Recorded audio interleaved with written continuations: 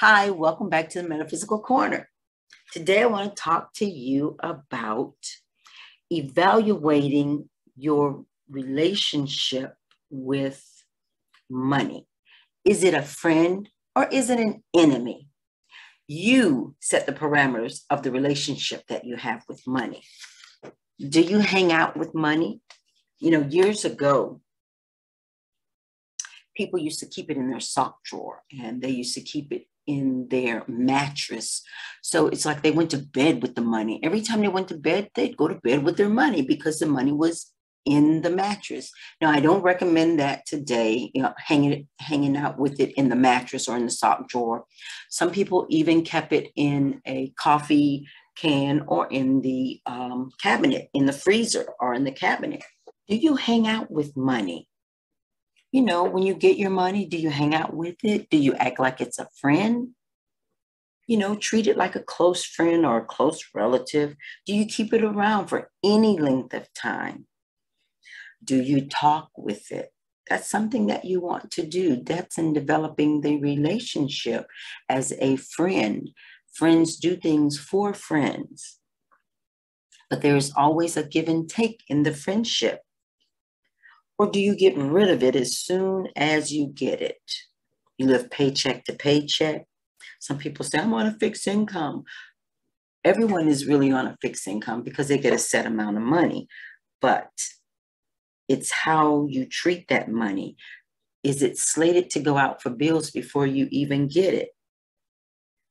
Do you tolerate money? You know, you just tolerate it, sort of like an enemy you just associate with it when it can do something for you.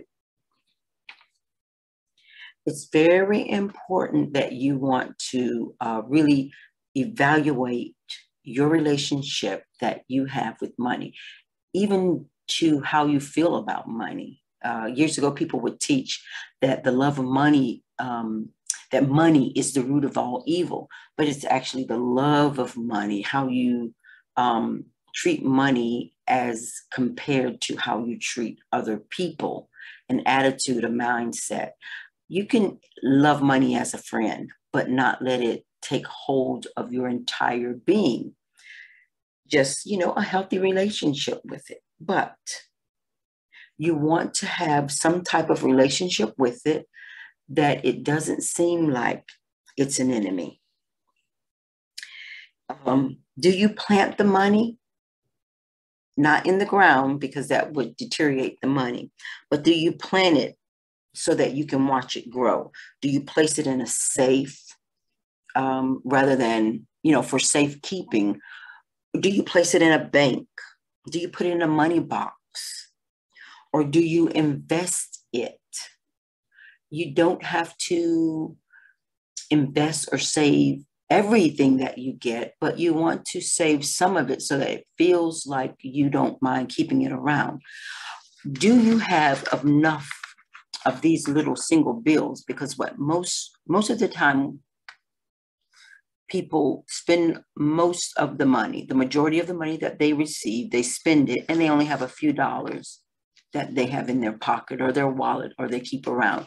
Do you have enough of these small bills like ones, maybe fives to make up a 20.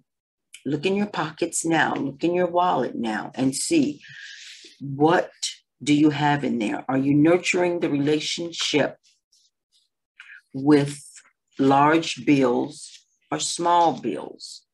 And you can tell by the types of denominations that you have in your possession, be it in your pocket or wallet or purse or in a safe, in a money box somewhere uh, even in the bank? Do you have large bills or do you only keep small bills on your person? Is that all that you have? Some people may say, all right, that's all I keep on me. Okay, that's fine. But you can also keep larger bills on your person and not in the relationship with them.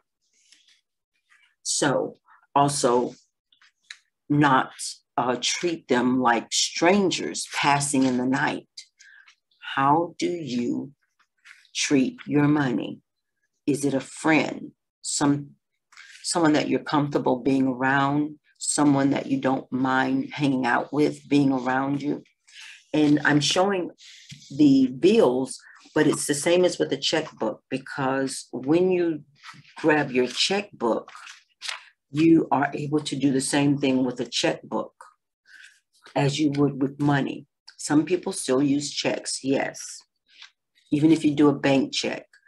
But treat your money as a friend. Develop a type of relationship with the money. Don't mind touching the money, handling the money.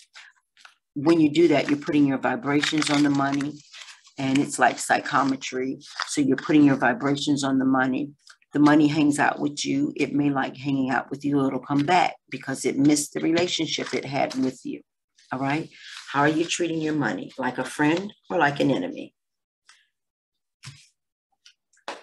If you haven't done so already, please hit the like and the subscribe button to show a little channel love.